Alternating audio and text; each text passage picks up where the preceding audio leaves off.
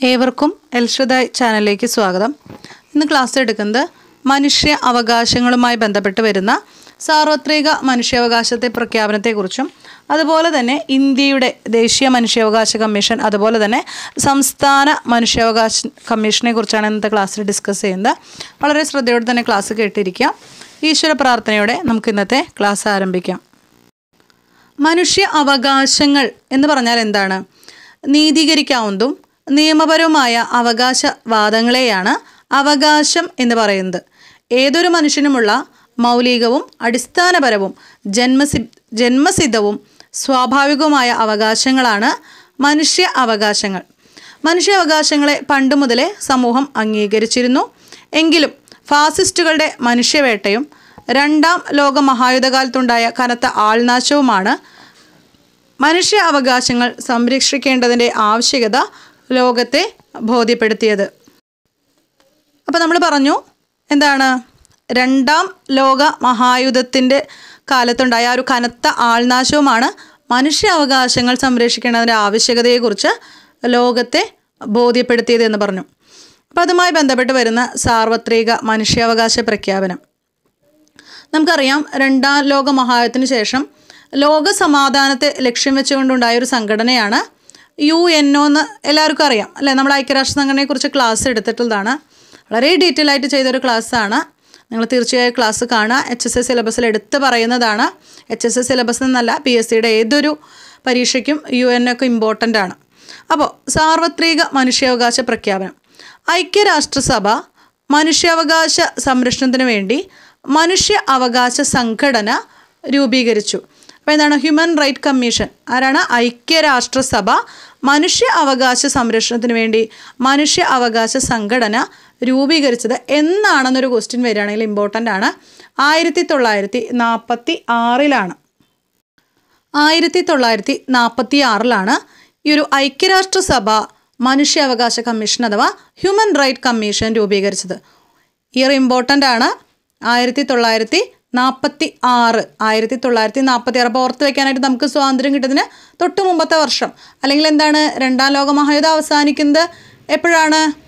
ആയിരത്തി തൊള്ളായിരത്തി നാൽപ്പത്തി അഞ്ചിലാണ് അത് കഴിഞ്ഞ് അതിന് തൊട്ടടുത്ത വർഷം ആയിരത്തി തൊള്ളായിരത്തി നാൽപ്പത്തി ആറിലാണ് ഹ്യൂമൻ റൈറ്റ് കമ്മീഷൻ രൂപീകരിച്ചത്.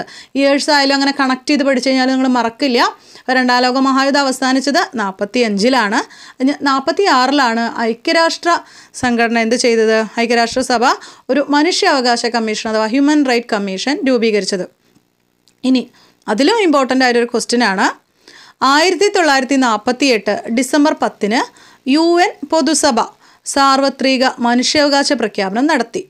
അപ്പോൾ നമുക്കറിയാം നമ്മൾ ഐക്യരാഷ്ട്ര സംഘടനയുടെ ഘടകങ്ങളെക്കുറിച്ച് പറയുന്നുണ്ട്. അതിൽ പൊതുസഭ അതിനെക്കുറിച്ച് പഠിക്കുന്നുണ്ട്.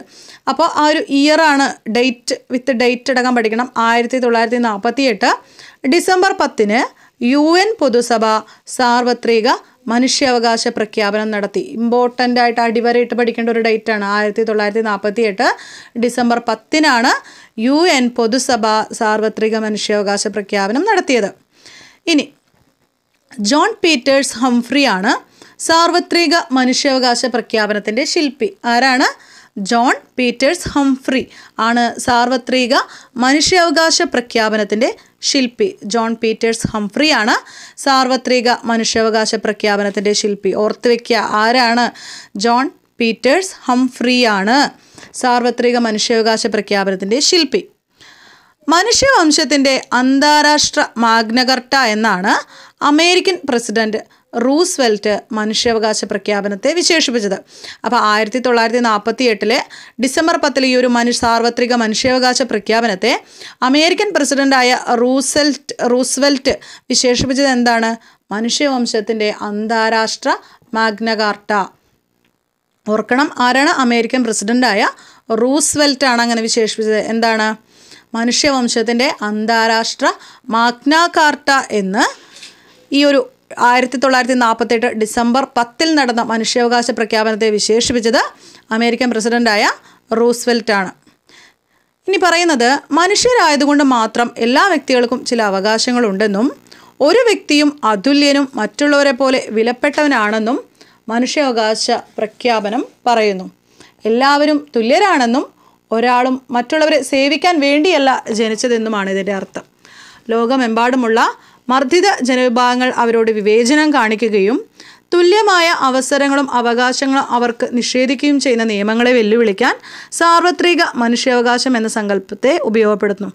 ലോകത്ത് ഏറ്റവും കൂടുതൽ ഭാഷകളിലേക്ക് പരിഭാഷ ചെയ്യപ്പെട്ട നിയമ സംഹിതയാണ് യു എൻ മനുഷ്യാവകാശ പ്രഖ്യാപനം.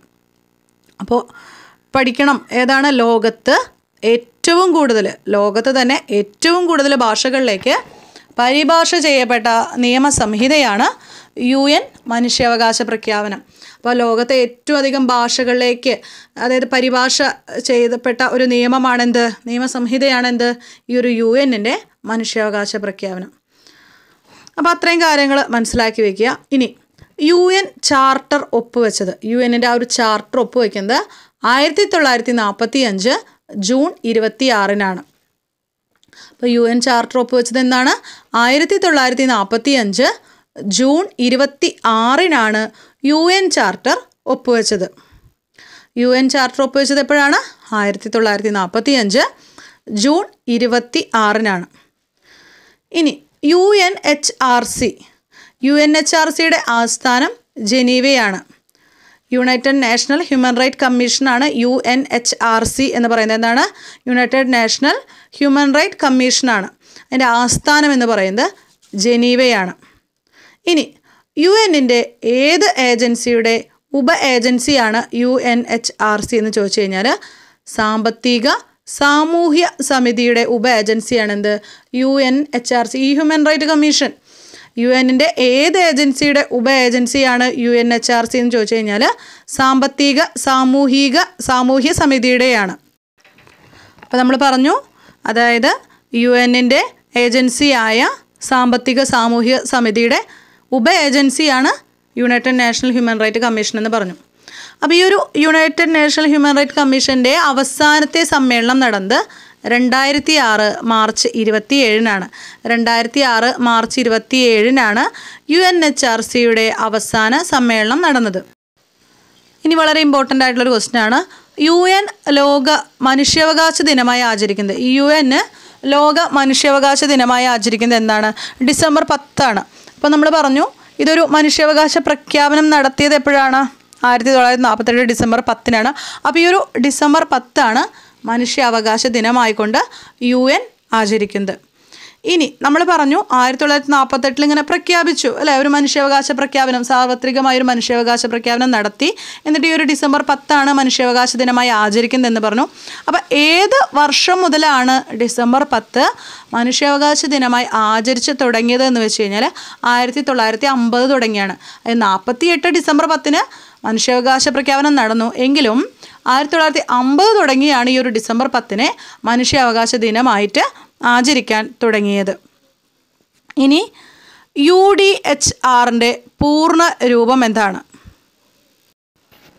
യു ഡി എച്ച് ആറിന്റെ പൂർണ രൂപമാണ് universal declaration of human rights എന്താണ്? സാർവത്രിക മനുഷ്യാവകാശ പ്രഖ്യാപനം എന്നാണ് വാക്കുകൊണ്ട് ഉദ്ദേശിക്കുന്നത്. യു ഡി എച്ച് ആറിന്റെ പൂർണ രൂപമാണ് universal declaration of human rights അപ്പോൾ ഈ ഒരു യു ഡി എച്ച് ആറിന്റെ അതായത് യൂണിവേഴ്സൽ ഡിക്ലറേഷൻ ഓഫ് ഹ്യൂമൻ റൈറ്റ്സിന്റെ ഒന്നാമത്തെ വകുപ്പ് എന്തിനെയാണ് സൂചിപ്പിക്കുന്നത് ചോദിച്ചു കഴിഞ്ഞാൽ സമത്വാവകാശമാണ്. ഈക്വാലിറ്റിയാണ് എല്ലാവർക്കും ഒരുപോലെയുള്ള അവകാശമാണ് യു ഡി എച്ച് ആറിന്റെ ഒന്നാമത്തെ വകുപ്പ് സൂചിപ്പിക്കുന്നത്. ഇനി യു എൻ നടത്തിയ മനുഷ്യാവകാശ പ്രഖ്യാപനത്തിൽ എത്ര ഭാഗങ്ങളുണ്ട് ചോദിച്ചു കഴിഞ്ഞാൽ മുപ്പത് ഭാഗങ്ങളാണ്. യു എൻ നടത്തിയ മനുഷ്യാവകാശ പ്രഖ്യാപനത്തെക്കുറിച്ച് പറഞ്ഞു അതിൽ എത്ര ഭാഗങ്ങളുണ്ട് ചോദിച്ചു കഴിഞ്ഞാൽ മുപ്പത് ഭാഗങ്ങളാണ്. ഇനി യു എൻ പൊതുസഭ ഐക്യരാഷ്ട്ര മനുഷ്യാവകാശ സമിതി രൂപീകരിച്ചത്. യു എൻ പൊതുസഭ ഐക്യരാഷ്ട്ര മനുഷ്യാവകാശ സമിതി രൂപീകരിച്ചത് രണ്ടായിരത്തി ആറ് മാർച്ച് പതിനഞ്ചിനാണ്. യു എൻ പൊതുസഭ ഐക്യരാഷ്ട്ര മനുഷ്യാവകാശ സമിതി രൂപീകരിച്ചത് രണ്ടായിരത്തി ആറ് മാർച്ച് പതിനഞ്ചിനാണെന്നുള്ള കാര്യം ഓർക്കുക. United nation human right council രൂപീകരിച്ചത് എപ്പോഴാണ്? രണ്ടായിരത്തി ആറ് മാർച്ച് പതിനഞ്ചിനാണ്. അപ്പോൾ ഈ ഒരു യു എന്നിന്റെ പൊതുസഭ ഐക്യരാഷ്ട്ര മനുഷ്യാവകാശ സമിതി united nation human right council രൂപീകരിച്ചത് എപ്പോഴാണ്? രണ്ടായിരത്തി ആറ് മാർച്ച് പതിനഞ്ചിനാണ്. ആസ്ഥാനം എവിടെയാണ്? ജനീവ. മനുഷ്യാവകാശ സമിതിയിലേക്ക് ഇന്ത്യയെ തിരഞ്ഞെടുത്തത്. അപ്പോൾ ഈ ഒരു യുണൈറ്റഡ് നേഷൻ ഹ്യൂമൻ റൈറ്റ് കൗൺസിലിലേക്ക് ഇന്ത്യയെ തിരഞ്ഞെടുത്ത വർഷമാണ് രണ്ടായിരത്തി ഏഴ് ഇതിന്റെ കൗൺസിലിലേക്കാണ് ഇന്ത്യയെ തെരഞ്ഞെടുത്ത വർഷം എന്ന് പറയുന്നത് രണ്ടായിരത്തി ഏഴിലാണ് രണ്ടായിരത്തി ആറ് മാർച്ച് പതിനഞ്ചിലാണ് ഈ ഒരു united nation human right council രൂപീകരിച്ചത്. യു എന്റെ പൊതുസഭ united nation human right council രൂപീകരിച്ചത് എപ്പോഴാണ്? രണ്ടായിരത്തി ആറിലാണ് മനുഷ്യാവകാശ സമിതിയിലേക്ക് ഇന്ത്യയെ തെരഞ്ഞെടുത്ത വർഷം രണ്ടായിരത്തി ഏഴാണ് മനുഷ്യാവകാശ സമിതി ഏറ്റവും കൂടുതൽ പ്രമേയം പാസാക്കിയത് ഏത് രാജ്യത്തിനെതിരെയാണ് ചോദിച്ചു കഴിഞ്ഞാൽ ഇസ്രായേലിനെതിരെയാണ്. മനുഷ്യാവകാശ സമിതി ഏറ്റവും കൂടുതൽ പ്രമേയം പാസാക്കിയത് ഏത് രാജ്യത്തിനെതിരായാണെന്ന് ചോദിച്ചു കഴിഞ്ഞാൽ ഇസ്രായേലിന് എതിരായാണ്. ഇനി അമേരിക്കയിലെ മനുഷ്യാവകാശ ലംഘനത്തിനെതിരെ ചരിത്രപ്രസിദ്ധമായ എനിക്കൊരു സ്വപ്നമുണ്ട് എന്ന പ്രസംഗം നടത്തിയ കറുത്തവർഗക്കാരനായ മനുഷ്യ അവകാശ നേതാവാണ് മാർട്ടിൻ ലൂതർ കിങ്. എന്താണ് പറഞ്ഞത്? അമേരിക്കയിലെ മനുഷ്യാവകാശ ലംഘനത്തിനെതിരെ ചരിത്രപ്രസിദ്ധമായ എനിക്കൊരു സ്വപ്നമുണ്ട് എന്ന പ്രസംഗം നടത്തിയ കറുത്തവർഗക്കാരനായ മനുഷ്യാവകാശ നേതാവാണ് മാർട്ടിൻ ലൂതർ കിങ് ജൂനിയർ. ഇനി ഈ ഒരു ചരിത്രപ്രസിദ്ധമായ എനിക്കൊരു സ്വപ്നമുണ്ട് എന്ന പ്രസംഗം മാർട്ടിൻ ലൂതർ കിങ് എന്നാണ് നടത്തിയതെന്ന് ചോദിച്ചു കഴിഞ്ഞാൽ ആയിരത്തി തൊള്ളായിരത്തി അറുപത്തി മൂന്ന് ഓഗസ്റ്റ് ഇരുപത്തി എട്ടിനാണ് അപ്പോൾ ആ ഒരു സ്ഥലം കൂടെ മനസ്സിലാക്കി വയ്ക്കുക ലിങ്കൺ മെമ്മോറിയൽ വാഷിങ്ടണിലെ ലിങ്കൺ മെമ്മോറിയലിൽ വെച്ചാണ് അദ്ദേഹം ഈ ഒരു ചരിത്രപ്രസിദ്ധമായ പ്രസംഗം നടത്തിയത്. അപ്പോൾ എനിക്കൊരു സ്വപ്നമുണ്ട് എന്ന് തുടങ്ങുന്ന പ്രസംഗം ആരുടെയാണ്? മാർട്ടിൻ ലൂതർ കിങ് ജൂനിയറിന്റെയാണ്. അതായത് അമേരിക്കയിലെ മനുഷ്യാവകാശ ലംഘനത്തിനെതിരെ ചരിത്രപ്രസിദ്ധമായ എനിക്കൊരു സ്വപ്നമുണ്ട് എന്ന പ്രസംഗം നടത്തിയ കറുത്തവർഗക്കാരനായ മനുഷ്യാവകാശ നേതാവാണ് മാർട്ടിൻ ലൂതർ കിങ് ജൂനിയർ. ചരിത്രപ്രസിദ്ധമായ എനിക്കൊരു സ്വപ്നമുണ്ടെന്ന പ്രസംഗം മാർട്ടിൻ ലൂതർ കിങ് എവിടെ വെച്ചാണ് നടത്തിയതെന്ന് ചോദിച്ചു കഴിഞ്ഞാൽ ലിങ്കൺ മെമ്മോറിയൽ ഹോൾ വാഷിങ്ടൺ ആണ് വർഷം കൂടെ ഇമ്പോർട്ടന്റ് ആണ്.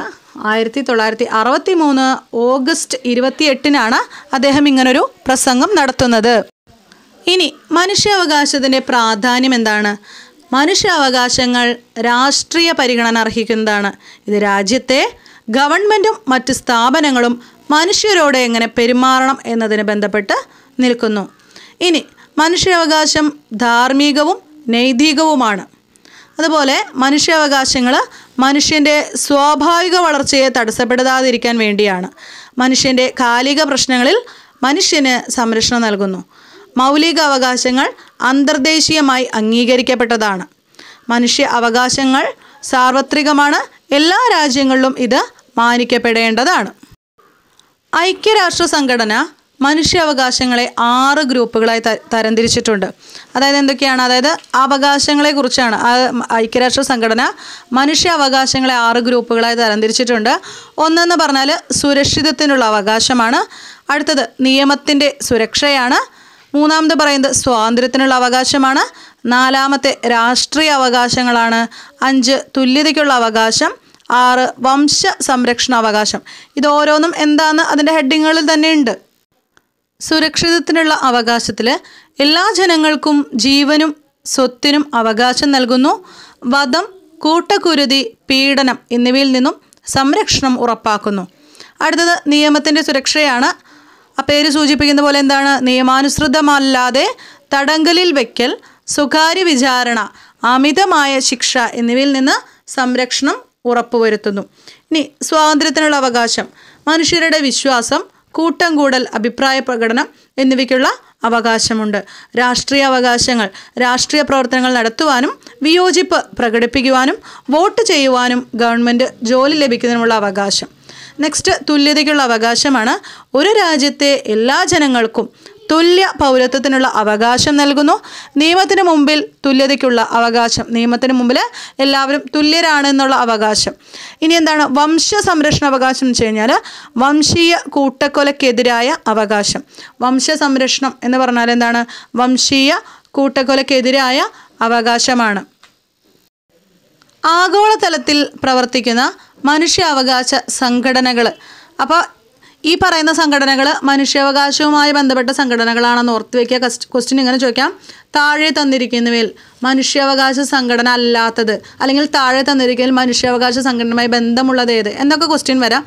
അപ്പോൾ ഏതൊക്കെ സംഘടനയാണ് മനുഷ്യാവകാശ സംഘടനകളെന്ന് മനസ്സിലാക്കി വയ്ക്കുക? Amnesty International Asia watch human right watch global watch America watch Africa watch ഇതെല്ലാം തന്നെ എന്താണ്? മനുഷ്യാവകാശവുമായി ബന്ധപ്പെട്ട സംഘടനകളാണ്. അപ്പോൾ ആംനെസ്റ്റി ഇന്റർനാഷണൽ തന്നിട്ട് ക്വസ്റ്റ്യൻ ചോദിച്ചിട്ടുണ്ട്. താഴെ തന്നിരിക്കുന്നതിൽ മനുഷ്യാവകാശ സംഘടനയുമായി ബന്ധപ്പെട്ടത് ഏത് എന്ന്. അപ്പോൾ ഓപ്ഷനിൽ ആംനസ്റ്റി ഇന്റർനാഷണൽ ഉണ്ടായിരുന്നു.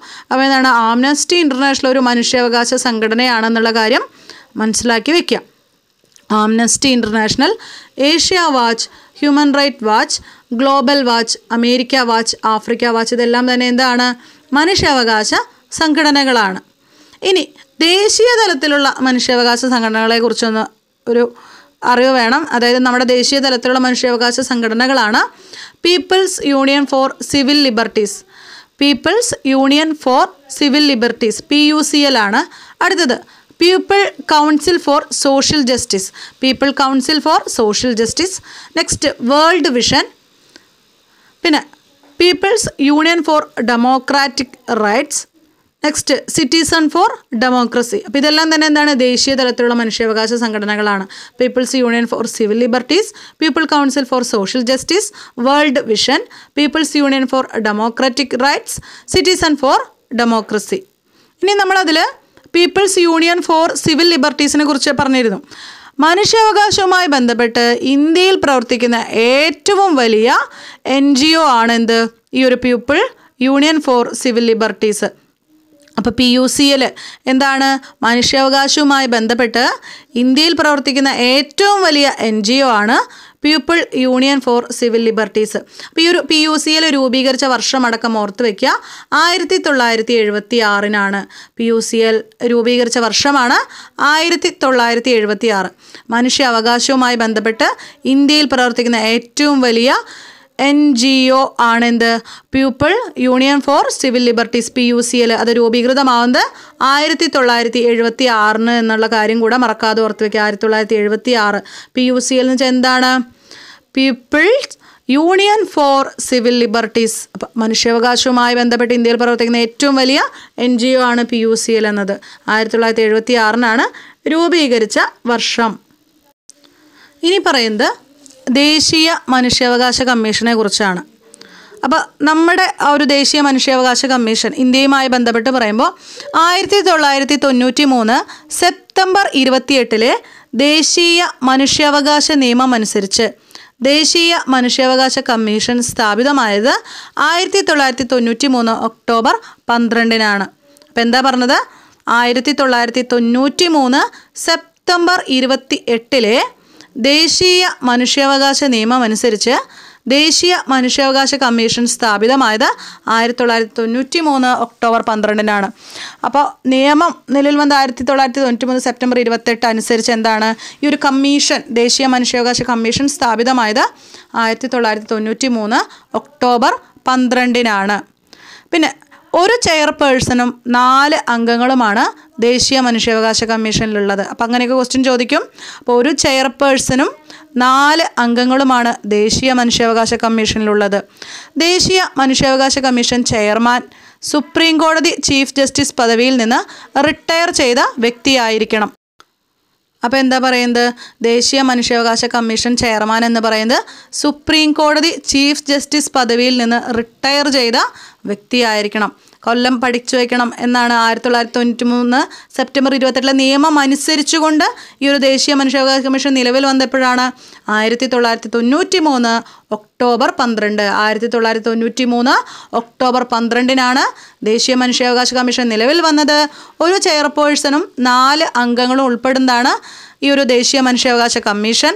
പിന്നെ നമ്മൾ പറഞ്ഞു ദേശീയ മനുഷ്യാവകാശ കമ്മീഷൻ ചെയർമാ ചെയർമാൻ എന്ന് പറഞ്ഞാൽ സുപ്രീം കോടതി ചീഫ് ജസ്റ്റിസ് പദവിയിൽ നിന്ന് റിട്ടയർ ചെയ്ത വ്യക്തിയായിരിക്കണം. ഇനി അപ്പോൾ ഈ ഒരു മനുഷ്യാവകാശ കമ്മീഷനിൽ ആ ഒരു ചെയർപേഴ്സണെയും അംഗങ്ങളെയും നിയമിക്കുന്നത് ആരാണ്? രാഷ്ട്രപതിയാണ്. അപ്പോൾ ഈ ഒരു നിയമിക്കുന്നതിൽ ഉള്ള അംഗങ്ങൾ എന്ന് പറഞ്ഞാൽ അപ്പോൾ അതായത് ഈ ഒരു കമ്മിറ്റിയിലുള്ള അംഗങ്ങൾ എന്ന് പറഞ്ഞാൽ ലോക്സഭ പ്രതിപക്ഷ നേതാവ് രാജ്യസഭ ഡെപ്യൂട്ടി ചെയർപേഴ്സൺ രാജ്യസഭ പ്രതിപക്ഷ നേതാവ് ലോക്സഭ സ്പീക്കർ കേന്ദ്ര ആഭ്യന്തരമന്ത്രി എന്നിവരടങ്ങുന്ന ഒരു കമ്മിറ്റിയുടെ ശുപാർശയനുസരിച്ചുകൊണ്ടാണ് രാഷ്ട്രപതിയാണ് കമ്മീഷൻ ചെയർപേഴ്സണെയും അംഗങ്ങളെയും നിയമിക്കുന്നത്. അപ്പോൾ ആ ഒരു കമ്മിറ്റിയിലുള്ള അംഗങ്ങൾ എന്ന് പറഞ്ഞാൽ ആരൊക്കെയാണ്? ലോക്സഭാ പ്രതിപക്ഷ നേതാവ് പിന്നെ ആരുണ്ട്? രാജ്യസഭാ പ്രതിപക്ഷ നേതാവ്. അതിന് രാജ്യസഭ ഡെപ്യൂട്ടി ചെയർപേഴ്സൺ പിന്നെ ലോക്സഭാ സ്പീക്കർ. നെക്സ്റ്റ് ആരാണ്? കേന്ദ്ര ആഭ്യന്തരമന്ത്രി എന്നിവരടങ്ങുന്ന ഒരു കമ്മിറ്റിയുടെ ശുപാർശയനുസരിച്ച് രാഷ്ട്രപതിയാണ് കമ്മീഷൻ ചെയർപേഴ്സണെയും അംഗങ്ങളെയും നിയമിക്കുന്നത്. ഇനി ദേശീയ ന്യൂനപക്ഷ കമ്മീഷന്റെയും ദേശീയ പട്ടികജാതി കമ്മീഷന്റെയും പട്ടിക വർഗ കമ്മീഷന്റെയും ദേശീയ വനിതാ കമ്മീഷന്റെയും അധ്യക്ഷർ മനുഷ്യാവകാശ കമ്മീഷന്റെ എക്സ് ഒഫീഷ്യോ അംഗങ്ങളാണ്. അപ്പോൾ എന്താ പറഞ്ഞത്? ദേശീയ ന്യൂനപക്ഷ കമ്മീഷൻ ദേശീയ പട്ടികജാതി കമ്മീഷൻ പട്ടികവർഗ കമ്മീഷൻ ദേശീയ വനിതാ കമ്മീഷൻ. അതിന്റെയൊക്കെ അധ്യക്ഷൻ എന്ന് പറയുന്നതാണ് മനുഷ്യാവകാശ കമ്മീഷന്റെ എക്സ് ഒഫീഷ്യോ അംഗങ്ങളാണ്. പിന്നെ നമ്മൾ പറഞ്ഞ ഈ ഒരു മനുഷ്യാവകാശ കമ്മീഷനിലെ ദേശീയ മനുഷ്യാവകാശ അംഗങ്ങളുടെ കാലാവധി എന്ന് പറയുന്നത് മൂന്ന് വർഷം അല്ലെങ്കിൽ എഴുപത് വയസ്സാണ്. ആദ്യം ഏതാണോ അതനുസരിച്ചാണ് അവർ ആ പദവിയിൽ നിന്ന് ഒഴിയേണ്ടത്. മൂന്ന് വർഷം അല്ലെങ്കിൽ എഴുപത് വയസ്സാണ് ഈ ഒരു ചെയർപേഴ്സന്റെയും അംഗങ്ങളുടെയൊക്കെ കാലാവധി എന്ന് പറയുന്നത്. ഇനി ദേശീയ മനുഷ്യാവകാശ കമ്മീഷന്റെ ആസ്ഥാനം. ദേശീയ മനുഷ്യാവകാശ കമ്മീഷന്റെ ആസ്ഥാനമാണ് മാനവ് അധികാർ ഭവൻ.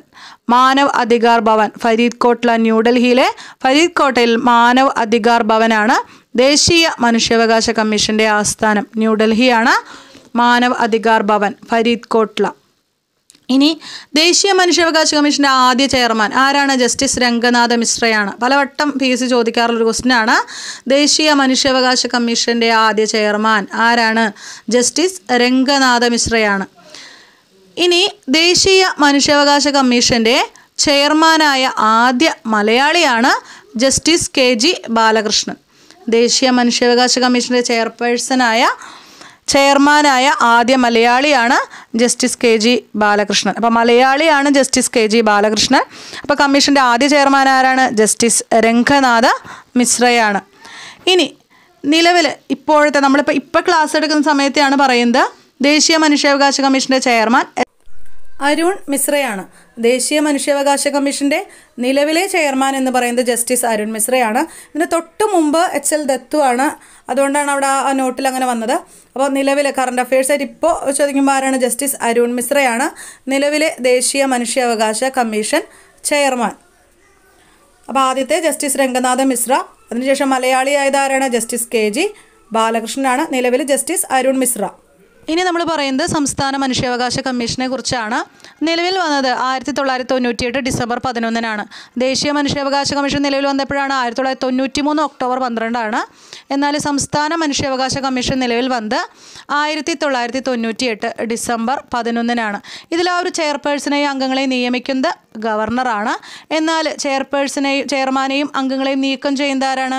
പ്രസിഡന്റാണ് അപ്പം നിലവിൽ വന്നത് ആയിരത്തി തൊള്ളായിരത്തി തൊണ്ണൂറ്റിയെട്ട് ഡിസംബർ പതിനൊന്നാണ്. ചെയർമാനെയും അംഗങ്ങളെ നിയമിക്കുന്നത് ഗവർണറാണ്. നീക്കം ചെയ്യുന്നത് പ്രസിഡന്റാണ് പിന്നെ ചെയർപേഴ്സൺ ഉൾപ്പെടെ എത്രയാണ്? നാല് അംഗങ്ങളാണുള്ളത്. ചെയർപേഴ്സൺ ഉൾപ്പെടെ സംസ്ഥാന മനുഷ്യാവകാശ കമ്മീഷനിൽ നാല് അംഗങ്ങളാണുള്ളത്. ഇപ്പോഴത്തെ ചെയർമാൻ നമ്മൾ ക്ലാസ് എടുത്തുകൊണ്ടിരിക്കുന്ന ഈ ഒരു സമയത്തെ ചെയർമാൻ ആരാണ്? ആന്റണി ഡൊമിനിക്കാണ്. ഇപ്പോഴത്തെ ചെയർമാനാണ് ആന്റണി ഡൊമിനിക്ക്. ഇപ്പോഴത്തെ ചെയർമാൻ ആന്റണി ഡൊമിനിക്കാണ്. ഈ സംസ്ഥാന മനുഷ്യാവകാശ കമ്മീഷന്റെ ആദ്യത്തെ ചെയർമാനെന്ന് ചോദിച്ചു കഴിഞ്ഞാൽ ജസ്റ്റിസ് പരീത് പിള്ളയാണ്. സംസ്ഥാന മനുഷ്യാവകാശ കമ്മീഷന്റെ ആദ്യത്തെ ചെയർമാൻ ജസ്റ്റിസ് പരീതപിള്ളയാണ്. നിലവിലെ ആന്റണി ഡൊമിനിക്കാണ്. ഇതിന്റെ ആസ്ഥാനം എവിടെയാണ്? തിരുവനന്തപുരമാണ്. അപ്പോൾ നമ്മൾ ദേശീയ മനുഷ്യാവകാശ കമ്മീഷനിലെ ആദ്യത്തെ ചെയർമാൻ പറഞ്ഞു ജസ്റ്റിസ് രംഗനാഥ മിശ്രയാണ്. മലയാളിയായത് ആരാണ് ജസ്റ്റിസ് കെ ജി ബാലകൃഷ്ണനാണ്. അപ്പോൾ നിലവിലെ ദേശീയ മനുഷ്യാവകാശ കമ്മീഷൻ ചെയർമാൻ എന്ന് പറയുന്നത് അരുൺ മിശ്രയാണ്. അതിന് തൊട്ട് മുമ്പ് എച്ച് എൽ ദത്തു ആയിരുന്നു. അപ്പോൾ ഇപ്പോഴത്തെ കറണ്ട് അഫയേഴ്സ് ആയിട്ടുള്ള കാര്യമാണ്. ഭാവിയിൽ അത് മാറ്റം വരും. അപ്പോൾ അരുൺ മിശ്രയായിരുന്നു അരുൺ മിശ്രയാണ്. ഇപ്പോൾ സംസ്ഥാനത്തിന്റെ ഏതാണ് ആന്റണി ഡൊമിനിക്കാണ് സംസ്ഥാനത്തെ മനുഷ്യാവകാശ കമ്മീഷൻ എന്ന് പറയുന്നത്. ആന്റണി ഡൊമിനിക്കാണ്. ആദ്യത്തെ ആരാണ്? ജസ്റ്റിസ് പരീത് പിള്ള സംസ്ഥാന മനുഷ്യാവകാശ കമ്മീഷന്റെ ആദ്യ ചെയർമാൻ ജസ്റ്റിസ് പരീത് പിള്ള. നമ്മുടെ സംസ്ഥാന മനുഷ്യാവകാശ കമ്മീഷന്റെ ആസ്ഥാനം എന്ന് പറയുന്നത് തിരുവനന്തപുരമാണ്. തിരുവനന്തപുരമാണ്. മറ്റേതിന്റെ എവിടെയാണ്? ന്യൂഡൽഹിയിൽ മാനവാധികാർ ഭവനാണ് അല്ലേ? ഫരീദ്കോട്ടിലെ മാനവാധികാർ ഭവനാണ്. എന്നാൽ സംസ്ഥാനത്തെ മനുഷ്യാവകാശ കമ്മീഷന്റെ കമ്മീഷന്റെ ആസ്ഥാനം എവിടെയാണ്? തിരുവനന്തപുരമാണ്. ചെയർമാന്റെയും അംഗങ്ങളുടെയും കാലാവധി എന്ന് പറയുന്നത് മൂന്ന് വർഷം അല്ലെങ്കിൽ എഴുപത് വയസ്സ് ഏതാണോ ആദ്യം അതനുസരിച്ചാണ്. ഹൈക്കോടതി ചീഫ് ജസ്റ്റിസ് പദവിയിൽ നിന്ന് റിട്ടയർ ചെയ്ത വ്യക്തിയായിരിക്കണം സംസ്ഥാന മനുഷ്യാവകാശ കമ്മീഷൻ ചെയർമാൻ. അപ്പം എന്താണ്? ഹൈക്കോടതി ചീഫ് ജസ്റ്റിസ് പദവിയിൽ നിന്ന് റിട്ടയർ ചെയ്ത വ്യക്തിയായിരിക്കണം സംസ്ഥാന മനുഷ്യാവകാശ കമ്മീഷൻ ചെയർമാൻ. മറ്റേത് ഏതാണ്? സുപ്രീം കോടതി ചീഫ് ജസ്റ്റിസ് പദവിയിൽ നിന്ന് റിട്ടയർ ചെയ്ത വ്യക്തിയായിരിക്കണം ദേശീയ മനുഷ്യാവകാശ കമ്മീഷൻ അധ്യക്ഷൻ. അപ്പോൾ ഇത്രയും കാര്യങ്ങളാണ് നമുക്കിതുമായി ബന്ധപ്പെട്ട് പഠിക്കാനുള്ളത്. ഇനി ഇവിടെ തന്നെ നമ്മൾ ഓർത്ത് വെക്കേണ്ട ഒരു കാര്യമാണ്. മാഗ്നാകാർട്ട എന്താണ്? അതായത് മനുഷ്യാവകാശ പ്രഖ്യാപനം ഭരണകൂടത്തിന് ബാധ്യതയാക്കിക്കൊണ്ടുണ്ടായ ആദ്യ കരാറാണ് മാഗ്ന കാർട്ട മനുഷ്യാവകാശത്തിന്റെ നാഴികക്കല്ല് എന്ന് വിശേഷിപ്പിക്കുന്ന മാഗ്ന കാർട്ട പുറപ്പെടുവിച്ച ഇംഗ്ലണ്ടിലെ രാജാവാണ് ജോൺ രാജാവ്. ജോൺ രാജാവ് മാഗ്ന കാർട്ട പുറപ്പെടുവിച്ച വർഷം വെരി ഇമ്പോർട്ടന്റ് ആണ്. ആയിരത്തി ഇരുന്നൂറ്റി പതിനഞ്ചിലാണ് മാഗ്ന കാർട്ട പുറപ്പെടുവിച്ച സ്ഥലവും വർഷമൊക്കെ ചോദിച്ചിട്ടുണ്ട് സ്ഥലം എന്ന് പറയുന്നത് തേംസ് നദിക്കരയിലെ റണ്ണിമിഡ് എന്ന സ്ഥലത്താണ്. റണ്ണിമീഡ് എന്ന സ്ഥലത്താണ് മാഗ്ന കാർട്ട പുറപ്പെടുവിച്ച സ്ഥലം. വർഷം ആയിരത്തി ഇരുന്നൂറ്റി പതിനഞ്ചാണ് ജോൺ രാജാവാണ്. അപ്പോൾ മനുഷ്യാവകാശത്തിന്റെ നാഴികക്കല്ല് എന്ന് വിശേഷിപ്പിക്കുന്നത് എന്താണ്? ഈ ഒരു മാഗ്നകർട്ടയാണ്. ജോൺ രാജാവ് പുറപ്പെടുവിച്ച മാഗ്നകർട്ടയാണ് മനുഷ്യാവകാശത്തിന്റെ നാഴികക്കല്ല് എന്ന് വിശേഷിപ്പിക്കുന്നത്. വർഷം ഓർത്തുവയ്ക്ക് ആയിരത്തി ഇരുന്നൂറ്റി പതിനഞ്ച് പുറപ്പെടുവിച്ച സ്ഥലം ഏതാണ്? തേംസ് നദിക്കരയിലെ റണ്ണിമിഡ്. അപ്പോൾ നമുക്ക് പ്രത്യേകിച്ച് സിലബസിൽ എടുത്തു പറയുന്ന കാര്യമാണ്. ഡീറ്റെയിൽ ആയിട്ട് തന്നെ പഠിക്കേണ്ടതായിട്ടുണ്ട്. അപ്പോൾ നിങ്ങൾക്ക് ക്ലാസ് ഇഷ്ടപ്പെട്ടെങ്കിൽ തീർച്ചയായും നിങ്ങളുടെ അഭിപ്രായങ്ങൾ കമന്റ് ചെയ്യുക. എച്ച് എസ് എക്ക് വേണ്ടിയുള്ള ഒരുവിധം മാക്സിമം പോർഷൻസ് നമുക്ക് കവർ ചെയ്യാനായിട്ട് സാധിച്ചിട്ടുണ്ട്. ഇനി വരുന്ന നാളുകളിൽ പി എസ് സിയുടെ വി ഇ ഒ അതുപോലെ തന്നെ L P U P exam notification വരാനുണ്ട്. അതുപോലെ പി എസ് സിയുമായി ബന്ധപ്പെട്ട് വരുന്ന ക്ലാസ്സുകൾ നമ്മൾ വരുന്ന നാളുകൾ ചെയ്യുന്നതായിരിക്കും. തീർച്ചയായിട്ടും നിങ്ങൾ ചാനൽ ഇപ്പോൾ സബ്സ്ക്രൈബ് ചെയ്തിട്ടില്ലെങ്കിൽ സബ്സ്ക്രൈബ് ചെയ്യുക. ക്ലാസ്സുകൾ ഇഷ്ടപ്പെടുന്നുണ്ടെങ്കിൽ ലൈക്ക് ചെയ്യുക നിങ്ങളുടെ വിലയേറെ അഭിപ്രായങ്ങൾ കമന്റ് ചെയ്യുക. അപ്പോൾ എല്ലാവരും തന്നെ നന്നായി പഠിക്കുക. എല്ലാ പ്രിയ സുഹൃത്തുക്കൾക്കും ശുഭഭാവി നേരുന്നു. എല്ലാവരെയും ഈശ്വരൻ അനുഗ്രഹിക്കട്ടെ എന്ന് ആശംസിക്കുന്നു. താങ്ക്